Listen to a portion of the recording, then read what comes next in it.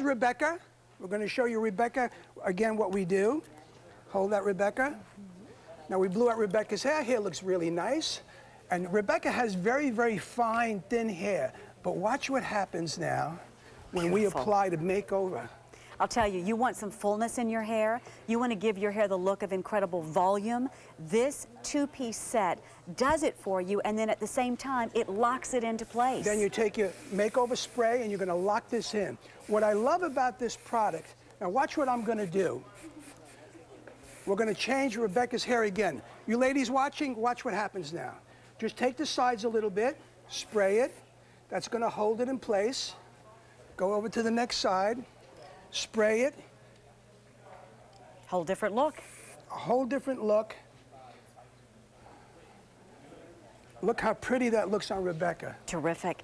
Two pieces, and we're going to wrap up because we've that. got something brand new to show you coming up.